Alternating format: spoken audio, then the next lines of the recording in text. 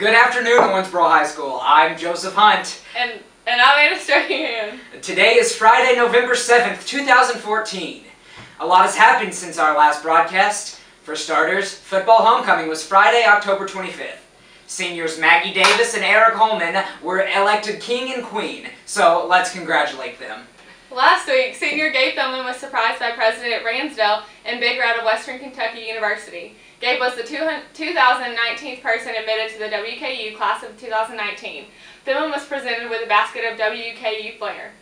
And the American Heart Association visited OHS to train local students in hands-on CPR. Did you know the cardiac arrest is the leading cause of death in the United States, and nearly 360,000 people experience cardiac arrest outside of a hospital each year?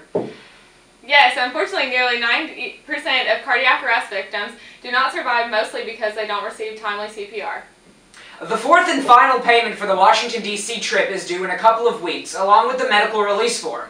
Make sure you deliver the payment and the medical form to Mr. Russellberg as soon as possible. If you've been able to or if you've been to any football games this year, you may have seen the band's halftime show, which is also their competition show. The band is on fire this year. They finished 12th in state. Not bad considering this is their first year they've made it in seven years. Here's a little bit more on the band and their halftime show.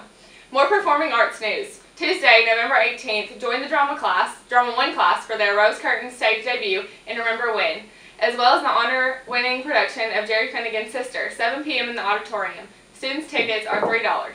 John Thomas and Kelsey certainly know how to put on a good show, don't they, Anna?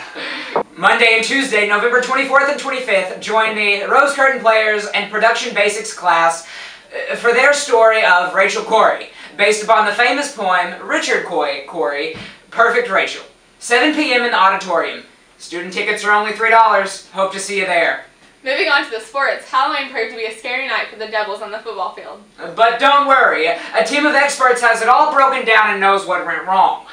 In cross-country news, the girls' cross-country team qualified for state as a team, with Alex Gurton placing 7th in the region. The boys ended their season with Warren Green qualifying for state. Well, that's it for the Owensboro High School School News. Stay tuned until next time. Stay golden, Owensboro.